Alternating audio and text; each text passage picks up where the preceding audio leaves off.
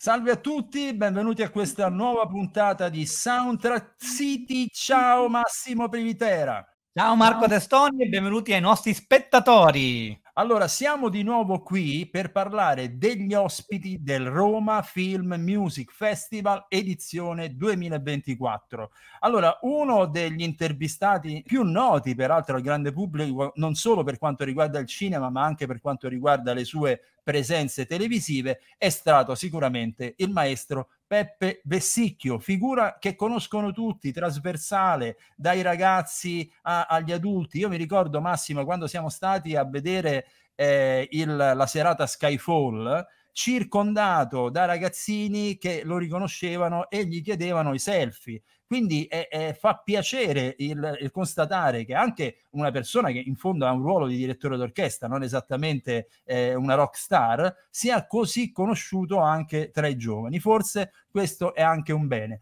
Parlaci un po' allora di a che cosa dobbiamo la sua presenza a questo festival romano. Diciamo che è stata la presenza più particolare, più particolareggiata e devo dire anche abbastanza articolata perché il maestro Peppe Vessicchio che tra l'altro è una persona di una cultura musicale straordinaria, avendo fatto poi veramente ehm, diversi lavori in tutti gli ambiti musicali, eh, compositore di colonne sonore, direttore d'orchestra, ma anche attore comico, eh, qualcuno se lo ricorderà, ma è soprattutto un cultore e, di, di, è uno studioso della musica, eh, diciamo, del passato, soprattutto un cultore della musica mozartiana. No, cito Mozart non a caso perché il maestro Vessicchio ha presentato eh, un, un, talk dove c'è musica, cibo e armonia, perché eh, lui è riuscito ne, negli anni, attraverso degli studi affrontati da Mozart e da lui ripercorsi e su questi studi creando delle composizioni ad hoc, è riuscito a cambiare letteralmente il sapore dei pomodori, dell'uva che poi è diventata vino, ovviamente, e c'è, c'è, un suo vino che si chiama Musiche, andatevelo a cercare o andate a leggervi il mio reportage su colonnesone.net, perché la sua musica su dei canoni mozartiani cambia veramente il livello armonico, le frequenze armoniche di questi ortaggi, di questa frutta e di questo vino che lui crea, diventando ovviamente di volta in volta più saporito, più frizzante, più elegante, più ora il vino io non sono un sommelier, ma comunque varia. E ha fatto un esperimento proprio live, cioè lui ha messo un iPad con la sua musica sotto un piattino di li, un limone, di una metà di un limone eh, tagliato a pezzettini piccolini, una, un iPad sotto un piattino e un altro piattino a parte, sempre con lo stesso limone tagliato sempre a metà e a pezzettini. Quello non trattato musicalmente è rimasto acerbo e con la buccia durissima. Quello trattato musicalmente dalle composizioni di Peppe Vessicchio basate sulle composizioni storiche di Mozart, sugli studi mozartiani, è diventato buonissimo da, da assaporare, da, da, da, da assaggiare, molto dolce e la buccia morbidissima, quindi veramente quasi un miracolo. Allora, de- detto così sembra qualcosa alla Houdini o alla David Copperfield? No, è, ver- è, pura verità, tutto comunque sondato, tutto eh, certificato. Guarda, questa componente visionaria di Vessicchio mi mancava e me lo fa stare ancora più simpatico, guarda. Quindi, ok, vai con Peppe Vessicchio, buona visione. Buona visione e buon assaggio.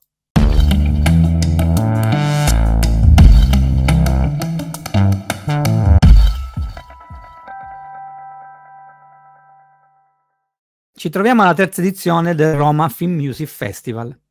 Quanto è importante un festival che mette al centro la musica per immagini? Eh, penso che sia importantissimo perché tra l'altro c'è una, in questo momento c'è una grande attenzione da parte dei giovani musicisti a questo settore perché il visivo grazie agli smartphone, insomma, ai tablet e adesso anche al fatto che nella, attraverso la televisione il cinema è molto più presente nel, nelle nostre case, ha, ha, in qualche modo stimolato nella loro mente il, la necessità di trovare i punti di congiunzione tra quello che vediamo e quello che eh, è associabile come suono. Quindi il fatto che esista un festival e che possa essere tra l'altro in una città come Roma eh, così centrale rispetto al fenomeno cinema mondiale credo sia una cosa molto, molto importante. Ehm, parlare di questo argomento, confrontarsi su questo argomento, c'è sempre troppo poco. Ecco, prima, anzi, devo dire che eh, di festival e festivalini di, eh, diciamo, ce n'erano in giro, però non c'è mai stata una, una vera centralità della, di questo fenomeno e ce n'è bisogno perché sono tanti coloro che vorrebbero sapere. Questa tua risposta ci porta alla seconda domanda.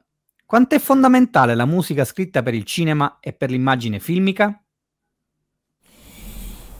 Diceva Morricone che, che l'opera delle immagini è prettamente del regista, cioè lui in questo era, eh, diciamo, era molto chiaro, lui diceva io, io partecipo di questa situazione, do un contributo, ma di fatto rimane, l'opera rimane l'opera visiva, tant'è vero che le sorti dell'opera fondamentalmente dipendono proprio dalla parte visiva.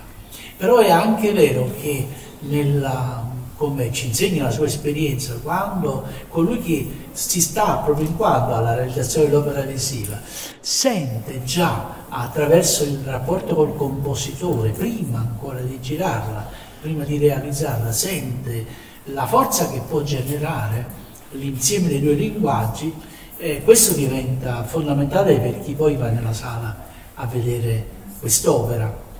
E secondo me eh, sarebbe auspicabile, eh, pur rimanendo direi, prettamente visiva l'opera come il cinema, ma sarebbe auspicabile che l'interazione avvenisse prima, già direttamente sul soggetto, sulla lettura, sugli intenti, perché secondo me ne potrebbe guadagnare anche il visivo, ecco, in termini proprio di nuove intuizioni, realizzazioni. Morricone eh, voglio dire, forniva la musica a Leone perché Leone potesse girare le scene.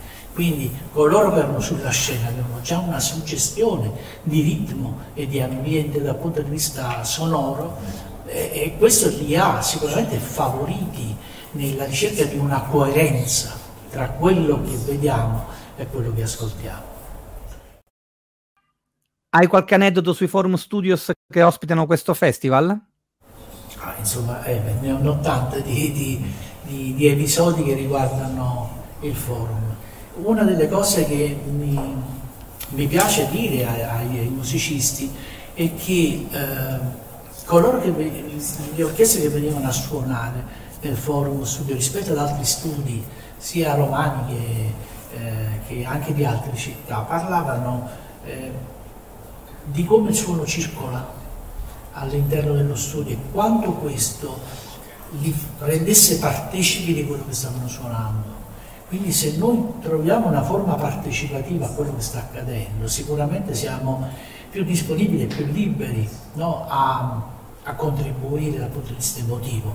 Se questa è la difficoltà invece, la, la circolazione del suono, noi dovremmo stare più attenti a quello che facciamo, che è una cosa molto diversa, perché l'attenzione, l'attenzione come tensione Invece quando il suono circola, il musicista è felice di suonare quello che fa perché lo fa veramente nell'unità della, dell'orchestra. Ecco, una delle cose che raccontavano i musicisti che io trasferisco ai giovani è questa, perché la considerazione dell'ambiente diventa fondamentale. E qui su c'è un ambiente magico, eh, ma non detto solo da me, è detto da tanti, ci sono anche dei cantautori che eh, dicono che quando vengono a lavorare qui il tempo eh, scorre in maniera stranissima, non si sentono stanchi e, e, invece si accorgono a un certo punto che è passato, sono passate delle ore e questo vuol dire che sono favoriti nella concentrazione. Solitamente eh, i grandi ambienti del, del, delle sale eh, a volte risultano dispersivi, ma qui sarà perché su c'è una chiesa, non so, vorrei fare un paragone eh, diciamo inappropriato, però di fatto secondo me qui succede qualcosa di, di spirituale che ha, ha, un, ha, un, ha, un, suo valore. Io qui ci ho registrato insieme a Fiore della Noia un intero album dedicato a, a Lucio Dalla e, e, devo dire che eh, eravamo tutti in uno stato di grande partecipazione. Ecco, uno studio questo deve generare fondamentalmente. Eh, se ti senti che devi indossare un abito eh, particolare, il camice come si dice a volte, no? e stare sull'attenti, questo eh, secondo me non favorisce. Qui c'è un clima di grande professionalità e allo stesso tempo di grande, di grande cordialità. Musica, cibo e armonia. Beh, eh, sono sensi che in qualche modo vengono appagati e, e noi viviamo attraverso i nostri sensi la realtà che ci circonda. Io, diciamo, ho, quando ho scoperto che il, il suono interagiva con ciò che mangiamo, quindi con gli alimenti, con, con della natura, tratti dalla natura, con il vino che è un prodotto dell'uomo ma che nasce ovviamente dalla natura, io ho gioito perché ho trovato eh, che ci fosse la possibilità di coniugare questi linguaggi e tutto sommato erano tutti linguaggi che mi stavano a cuore. Quindi un po', un po come, quando, ecco, come quando uniscono le, le, le immagini a, al sonoro. Eh, io diciamo, ho lavorato nel mondo del, della musica per il cinema perché ho fatto l'orchestratore per dei compositori, eh, ho anche composto musica mia in alcuni casi, però ehm, sono stato preso dal mondo della televisione, fagocitato dalle orchestre dei, diciamo, dei festival piuttosto che dei, ehm, delle, dei varietà televisivi o dei talent, quindi eh, sono, sono, stato attratto dalla, dalla musica in sé, eh, ma ho, ho frequentato il, il, il fascino della, diciamo, del, del rapporto tra il visivo e il suono ed è un mondo, un mondo che andrebbe coltivato. Le dico che chi eh, fa canzoni o chi si è occupato del mondo della, della, canzone, della forma canzone o delle altre forme musicali, non è detto, pur se voglio dire, eh, l'ha fatto con successo, che riesca nel mondo del cinema e viceversa. Quindi sono due cose che hanno, viaggiano parallelamente, ma credo che con sensibilità e conoscenze e, e predisposizioni assolutamente diverse.